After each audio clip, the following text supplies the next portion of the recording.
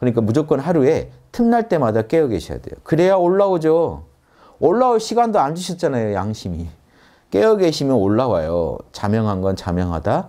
남한테 그러는 건 아니었다. 이게 자꾸 올라와요. 나와 남이 둘이 아닌데 남한테 그러는 건 아닌 것 같아. 자비의 마음이 올라와요. 이게 자명하고 이게 찜찜한 것 같아. 라고 진리의 생각이 올라와요.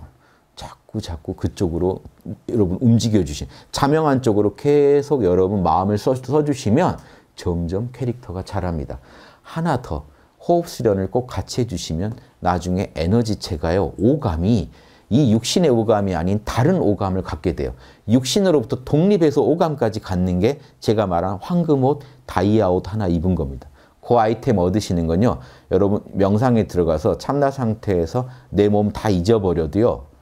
또 다른 몸이 있어요. 오감을 다 갖추고 있어요. 팔다리 다 있어요. 새로운 몸이 있습니다.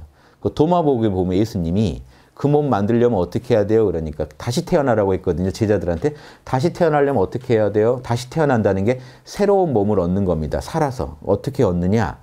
남자와 여자를 합하고 위와 아래를 합하고 안과 밖을 합하면 새 팔다리가 생긴다 그랬습니다.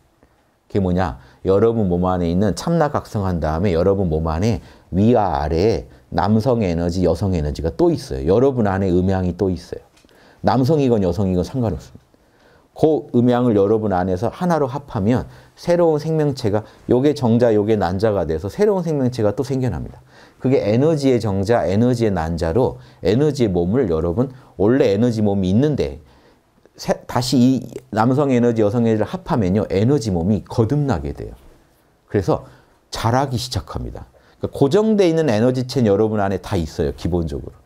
그래서 여러분 지금도 잘 깨어서 명상을 잘하면 여러분 몸 안에 육신을 다 몰라 해버렸을 때도 몸 안에 에너지의 팔다리가 있다는 거 느끼는 분들이 있어요. 느낄 수도 있어요. 근데 그게 배양된 건 아니에요. 느낄 수만 있지.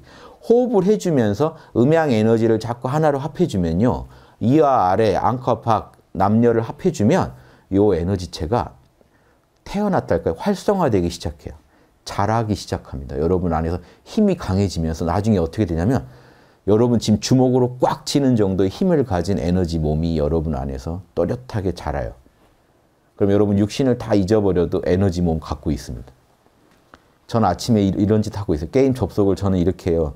참나각성 한 다음에 참나각성을 또 또렷하게 한 다음에 자, 제 마음에 육바라밀에 자명한 거 찜, 찜찜한 거 없나? 자명한 거 다 하고 있나라고 쭉 검토한 다음에 팔다리로 쭉 이제 몸에서 에너지체 느낍니다. 그러면 에너지체가 또렷하게 있어요. 그러면 제 몸은 잊어버리고 에너지 몸에서 제가 이제 기혈, 대주천, 소주천 에너지 도는 거 느끼면서 육신은 안 느껴지죠. 팔다리 도는 거 느끼면서 쭉 깨어서 있으면요. 저는 지금 어디 있는 건가요? 물질계에 있나요? 영혼 세계에 있나요?